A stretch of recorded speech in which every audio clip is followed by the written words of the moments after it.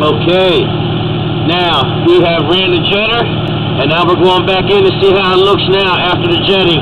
As you can see already, now you can see the complete hub. And where before you couldn't even see that. Look how clean. Look how clean. You only see like like the little like a little fuzz. Fibers. That, that's what.